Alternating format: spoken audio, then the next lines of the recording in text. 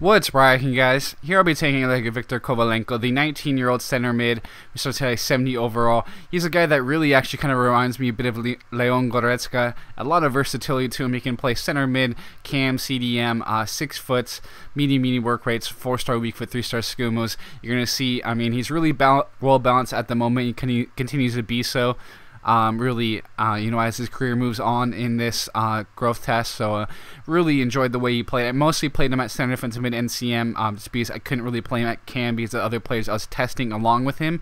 So I apologize for that, but uh, you'll see the way he plays from a bit of a deeper role, and I do do think you know he'd be tremendous, you know, playing up farther up the pitch as well. He grew very quickly again as well. Year 2020, uh, 81 overall. You can see all that green. Only non-green stat is heading accuracy, so that's saying a lot to the hair. Really, he doesn't have any specialties, but I don't I don't really care because of how well-rounded he is.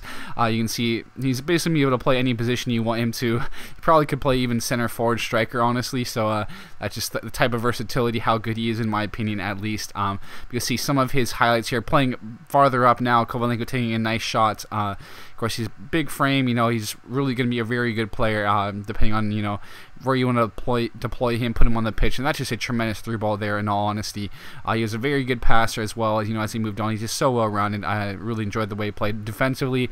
He made a lot of tackles, and you'll see them throughout this. I mean, he's very strong, very good on the ball exactly what she wants really as you can see here wins the ball and plays an absolute beauty here through the defense, just threads that ball through the defense like nothing, and that's going to be put in the back of the nets there. I mean, that's just tremendous stuff again from him. Uh, I wish, you know, I would have had, you know, tons of time to use him.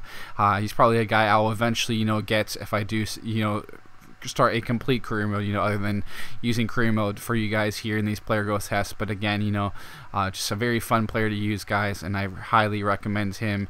As you'll see him, um, you know, just kind of winning the ball eventually here again, uh, as he does before. He can really push forward as well, making a nice little run that plays the ball through, eventually leads to a very nice chance and a goal there.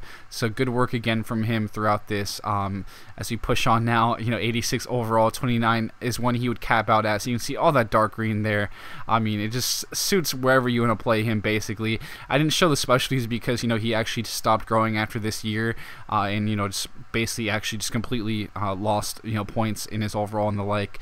Uh, so I apologize for that for not um, being able to, to, show his specialties and everything. But you know, just looking at his stats, you can see that he likely has quite a few of them. But um, you know, he's a great, great player, guys. Huge recommendation.